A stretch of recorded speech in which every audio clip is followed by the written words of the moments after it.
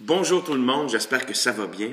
Encore une fois cette année, je suis très chanceux d'être invité par l'Orchestre symphonique de Québec à venir faire deux concerts dans votre saison, c'est-à-dire le 13 et 14 février. 13 février, très important de rappeler que c'est associé aux journées de la persévérance scolaire.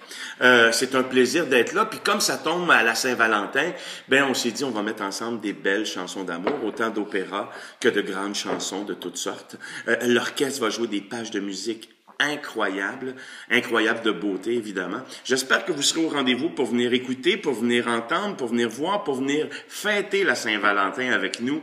Nous, en tout cas, on a hâte de vous voir. Je vous attends, c'est un rendez-vous. Donc, je vous le rappelle, 13, 14 février, venez nous voir. On va se faire une petite fête de Saint-Valentin ensemble.